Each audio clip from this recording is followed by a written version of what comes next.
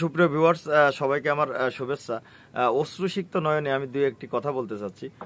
যে এই যে ঢাকাতে যে অগ্নিকাণ্ডের ঘটনাটা ঘটে গেল, আসলে মর্মান্তিক এক দুর্ঘটনা।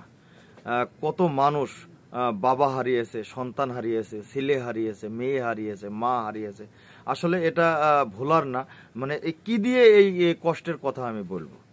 সব মিলে যারা মারা গেছেন তাদের মহান সৃষ্টিকর্তার কাছে, তাদের আত্মার মাগফেরত কামনা করছি।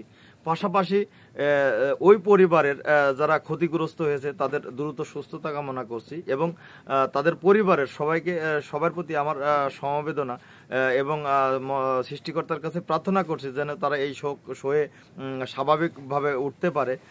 সব মিলে বন্ধুরা আমি একটা কথা বলছি যে আপনারা যখন কোনো আবাসন ব্যবস্থা তৈরি করবেন, কোনো শপিং মল বা কলকারখানা, আপনারা যে সংস্থাপনা যে সংস্থাপনাই তৈরি করেন না কেন, সবসময় মাথায় রাখবেন যে কোনো বিপদের সম্মুখীন হলে দ্রুত সরকারি সেবাদানকারী যে প্রতিষ্ঠান, আমাদের ফায়ার সার্ভিস তাছাড়া বেসরকারি সেবামূলক সংস্থার লোকজন দ্রুত এসে যেন আপনাদের উদ্ধার করতে পারে সেই বিষয়টা আপনারা মাথায় রেখে এই সংস্থাপনাগুলো করবেন।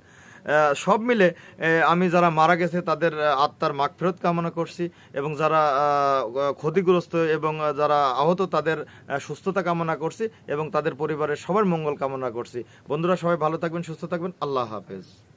বলছি, হৃদয় বিদারক ঘটনা যেটি ঢাকাতে ঘটে গেল অগ্নি দুর্ঘটনার মাধ্যমে।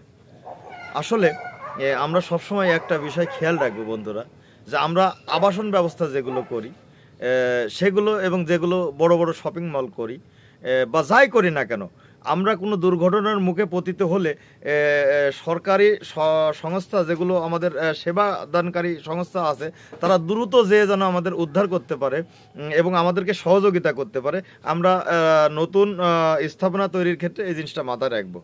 কি হৃদয় বিদারক ঘটনা।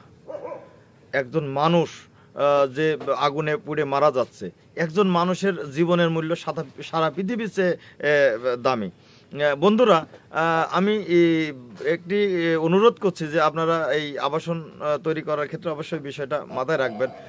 পাশাপাশি এই এক বুক ভরা কষ্ট নিয়ে যারা মারা গেছে তাদের আত্মার মাগফিরাত কামনা করছি।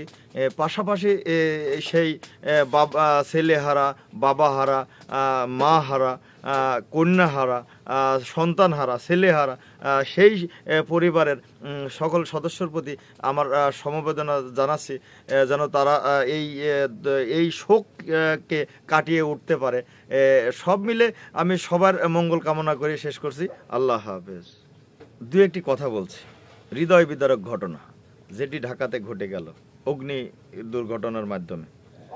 আসলে আমরা সবসময় একটা বিষয় খেয়াল রাখব বন্ধুরা, যে আমরা আবাসন ব্যবস্থা যেগুলো করি সেগুলো এবং যেগুলো বড় বড় শপিং মল করি বা যাই করি না কেন আমরা কোনো দুর্ঘটনার মুখে পতিত হলে সরকারি সংস্থা যেগুলো আমাদের সেবা দানকারী সংস্থা আছে, তারা দ্রুত যে যেন আমাদের উদ্ধার করতে পারে এবং আমাদেরকে সহযোগিতা করতে পারে, আমরা নতুন স্থাপনা তৈরির ক্ষেত্রে এই জিনিসটা মাথায় রাখব।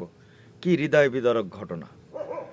একজন মানুষ যে আগুনে পুড়ে মারা যাচ্ছে, একজন মানুষের জীবনের মূল্য সারা পৃথিবীর চেয়ে দামি।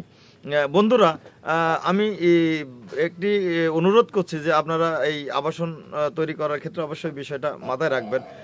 পাশাপাশি এই এক বুক ভরা কষ্ট নিয়ে যারা মারা গেছে তাদের আত্মার মাগফিরাত কামনা করছি। পাশাপাশি সেই বাবা ছেলেহারা বাবাহারা আহ, মা হারা আহ, কন্যাহারা সন্তানহারা ছেলেহারা সেই পরিবারের সকল সদস্যর প্রতি আমার সমবেদনা জানাচ্ছি যেন তারা এই এই শোককে কাটিয়ে উঠতে পারে। সব মিলে আমি সবার মঙ্গল কামনা করে শেষ করছি। আল্লাহ হাফেজ। অশ্রুসিক্ত নয়নে দু একটি কথা বলছি।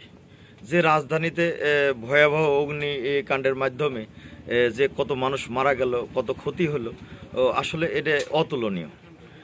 সব মিলে আমি একটা জিনিস বলব বন্ধুরা, যে আপনারা যে আবাসন ব্যবস্থা যেটা আছে এবং শপিং মল যেটা আছে কারখানা যেটা আছে সব সময় আপনারা একটা জিনিস খেয়াল রাখবেন, যে কোনো দুর্ঘটনার সম্মুখীন হলে বা অগ্নিকাণ্ডের মতো দুর্ঘটনা ঘটলে সরকারি সেবাদানকারী এবং বেসরকারি সেবাদানকারী সংস্থাগুলো দ্রুত এসে যেন আপনাদের উদ্ধার করতে পারে সেই বিষয়টা আপনারা সংস্থাপনা তৈরি করার ক্ষেত্রে আপনারা মাথায় রাখবেন।